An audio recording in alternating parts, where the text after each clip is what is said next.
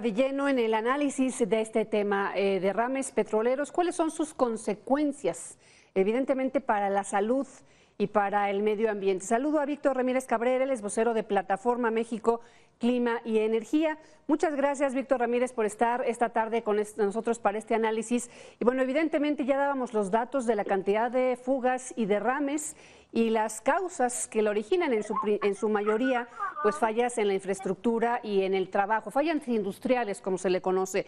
Pero, pero aquí importantísimo dimensionar lo que se normaliza principalmente en estados eh, donde son una constante los derrames. Estábamos leyendo que a la cabeza está Tabasco, después le sigue Veracruz, y a mí me llamaba la atención un testimonio de un poblador de eh, Comalcalco que decía, pues aquí los derrames son tan comunes como la actividad petrolera, forma parte de la cotidianidad. ¿Cuál es el riesgo de todo esto, Víctor? Hola, muy buenas tardes. Antes que nada, muchas gracias y saludos a tu auditorio.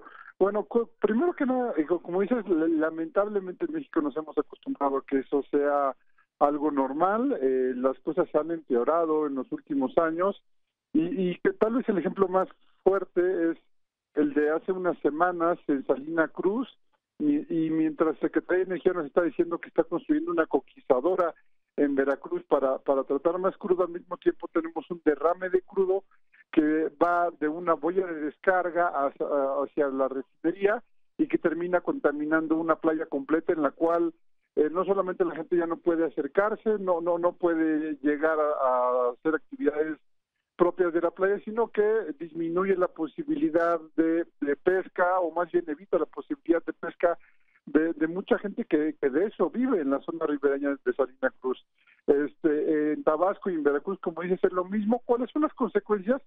Pues es contaminación de, eh, de los espacios en los que se dan estos derrames, pérdida de, de, algunos especímenes y este, que son contaminaciones que difícilmente pueden ser eh, eh, digamos pueden ser remediadas este, o incluso te puedo decir que algunos ecosistemas prácticamente se pierden como están originalmente. Podrás recomponer, podrás retirar el material contaminado, este, podrás intentar reforestar, sin embargo, el ecosistema como está nunca lo vas a volver a ver en, en las condiciones en las que estaba originalmente, ¿no?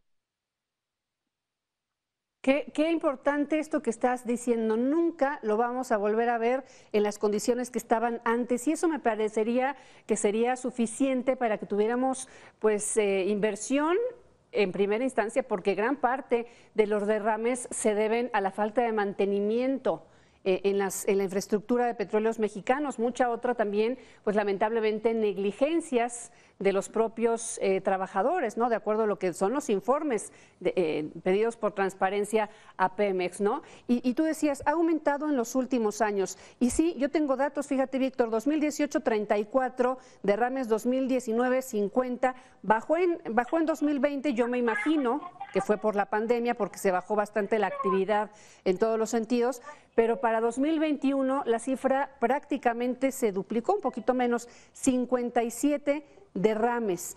Y decíamos, eh, tú estás citando lo, lo, que pasó en Salina Cruz, Oaxaca, y la respuesta de las autoridades, pero aquí eh, decimos, nos toca eh, un poco a las autoridades y un poco a la población, pues que justamente comete actos vandálicos. Pero aquí, independientemente de quién sea el responsable, pues el impacto es para todos, porque se, se riega ese, esa sustancia tóxica y estamos contaminando no solamente la zona, lamentablemente eso incluso puede llegar a contaminar por ejemplo, el pescado que consumimos. Yo estaba leyendo que el salmón y algunas otras especies, obviamente el salmón es de río, pero también hay fugas en los ríos, eh, se contaminan y eso después lo compramos y nos lo comemos, sin quitarle obviamente la importancia de romper el equilibrio del medio ambiente, Víctor.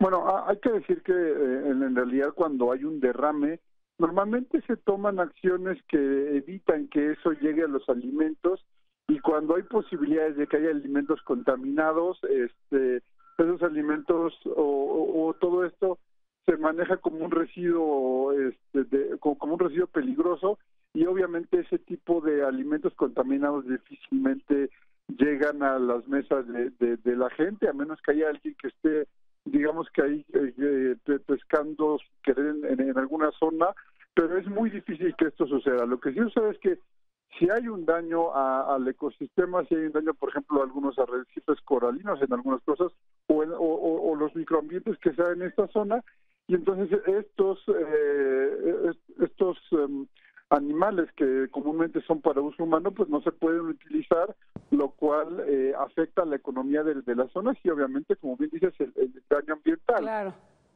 Este, eh, hay algo importante. Oye, Víctor, pero aquí hablando de los grandes derramos, eh, perdón que te interrumpa, aquí hablando de los grandes derrames y de las grandes fugas, que esto es lo, lo masivo y a lo que le ponemos atención.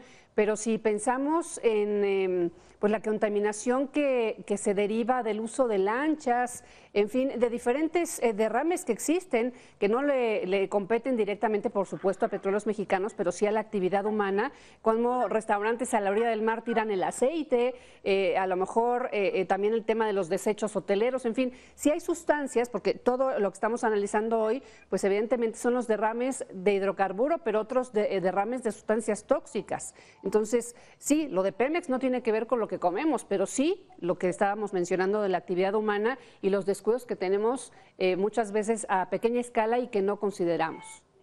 Y que claramente, y de hecho hay un problema a nivel nacional de pérdida de biodiversidad, sobre todo en los ríos, y no solamente es por asuntos tóxicos, sino por desplazamiento de especies por otras especies que, que solemos usar los humanos, incluso por, por, por ejemplo, como ornato en casa, ¿no? Eh, el, el, problema, y regresando un poco al asunto de Salina Cruz que, que hablábamos hace un momento, es que ni siquiera la autoridad tomó cartas en el asunto como debía. Eh, la Agencia de Seguridad Ambiental del, sector hidrocarburos este, no se apareció por la zona y fue la Marina quien, quien tomó acciones cuando la Marina no es quien está facultada o no está no es quien está capacitada para resolver ese tipo de problemas. Entonces, sí hay un asunto de descuido tal vez del, humano, pero también las autoridades que, que han dejado de hacer mucho de muchas de estas actividades, ¿no? Oye, Víctor, ahorita que te escucho de, la indiferencia de, la autoridad, eh, pues uno piensa que hay instancias que son responsables de investigar y de sancionar, pero que me parece que también y evidentemente están siendo omisas, ¿no? Eh, sí hay mucho de esta de, esta eh, omisión.